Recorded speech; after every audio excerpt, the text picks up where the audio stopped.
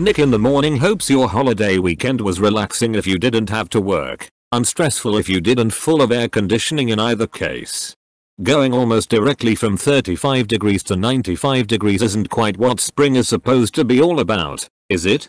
The television fare for Memorial Day night was fairly hot, too. We flipped between the first game of the NHL Stanley Cup final and the seventh game of the NBA Western Conference Finals. Big ups to MR. Peoria, Shaun Livingston, and the Golden State Warriors earning yet another rematch with the Cleveland Cavaliers. Close bracket.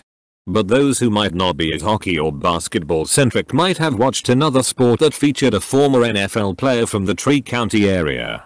The most recent season of the ABC reality series The Bachelorette debuted Monday night. The star of the show, the jilted Becca Kufrin, is to choose one lucky guy from among 28 who are vying for her affection. Among them is none other than Colton Underwood, the pride of Washington Community High School, former local restaurateur and retired pro footballer.